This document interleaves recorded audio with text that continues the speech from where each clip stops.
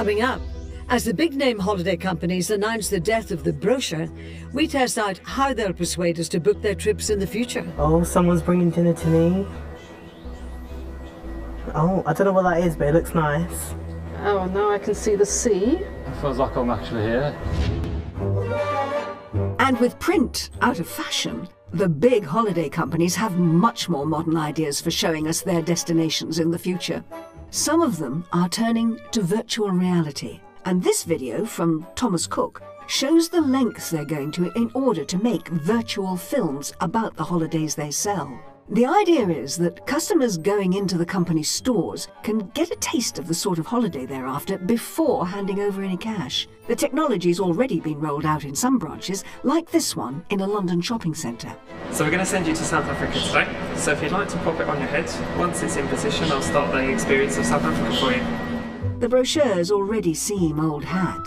Now it's all about experiencing your holiday using a virtual reality headset. I'm on a beach, like a really nice beach, and I can see the sea just in front of me, and it's like I can, I'm walking into the ocean. It's really nice and relaxing. A boat now. I'm with some nice looking ladies on a boat. Oh, someone's bringing dinner to me. Oh, I don't know what that is, but it looks nice. Thank you very much. Oh, now I can see the sea. like with the with the, the coral. Oh, getting a cocktail. I'll take that. Thank you very much. It feels like I'm actually here.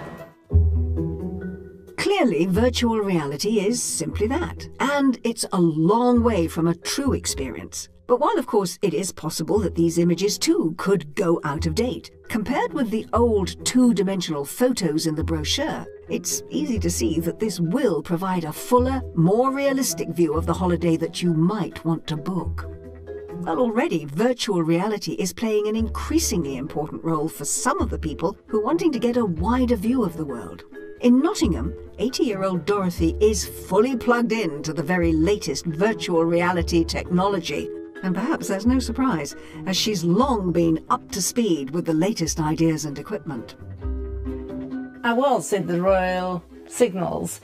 Now, the Royal Signals are very important to the Army because, of course, they're communications, and without communications, I'm afraid your war is already lost. And I really enjoyed the technology and, you know, talking to ships out at sea and that sort of thing. I thought it was magic, absolutely magic. Dorothy has spinal problems as well as arthritis, so her days of travel are now over. But that doesn't stop her from seeing the world the virtual way. I thought this is going to be really amazing, and should my health deteriorate even further, you can be almost, well, not comatose, but you can be um, a sick person in bed, for example, and go to America, Australia, Italy, anywhere you choose. The way in which Dorothy has embraced this technology has even impressed the founder of Facebook, Mark Zuckerberg, who publicly paid tribute to her virtual travels. Dorothy is an 80 year old grandmother uh, living in the UK. She owns an Oculus Rift. And a few weeks ago, she posted in the official uh, Rift group on Facebook to troubleshoot an issue. And she said, uh, I'm not going to do the accent well.